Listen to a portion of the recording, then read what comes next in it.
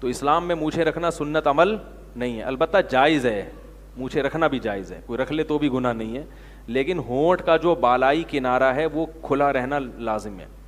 کسی نے اتنی بڑی مونچھیں رکھی کہ اوپر کا ہونٹ ڈھکن کی طرح جیسے لوگ، ایک صاحب کو میں نے دیکھا کچھ دن پہلے، پورا ہونٹ ڈھکا ہوا ہے۔ پانی پی رہے ہیں تو وہ بال اس کے اندر ڈوب رہے ہیں۔ تو یہ کیسی گندگی ہے۔ الله ربي ومحمدا رسول الله ويقيني. صاف کرنا اور داڑھی ایک مٹھی رکھنا کہاں سے ثابت ہے؟ حدیث سے ثابت ہے بھائی۔ بخاری مسلم کی متواتر روایات ہیں۔ آف الحا نبی نے فرمایا داڑیاں بڑھاؤ، وہ احف الشوارب اور مونچھیں احفا احفا کہتے ہیں بالکل جڑ سے کاٹو۔ تو اسلام میں مونچھیں رکھنا سنت عمل نہیں ہے، البتہ جائز ہے۔ مونچھیں رکھنا بھی جائز ہے، کوئی رکھ لے تو بھی گناہ نہیں ہے۔ لیکن ہونٹ کا جو بالائی کنارہ ہے وہ کھلا رہنا لازم ہے۔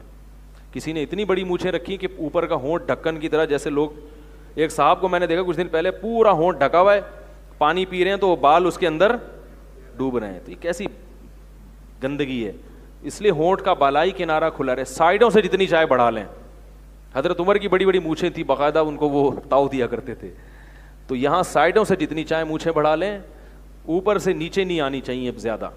سمجھ رہے ہو؟ پہلے ہم دیکھتے تھے ٹی وی نا، تو اس میں ٹریکٹر کو مونچھوں سے کھینچ رہا تھا ایک آدمی۔ وہاں گورے نا، وہ انٹرٹینمنٹ کے لیے وہ تو پریشان ہے نا، تو کچھ نہ کچھ کہتے ہیں کچھ ہونا چاہیے۔ تو وہ مونچھوں پہ زیتون کے تیل کی مالش کر کر کے وزن اٹھا اٹھا کے ایسا ٹائٹ بنا دیا اس نے۔ مونچھے باندھ کے بالٹی اٹھا رہا ہے، ویٹ اٹھا رہا ہے۔ تو یہ پھر حماقت ہے، اتنی بھی بڑی نہیں ہونی چاہیے۔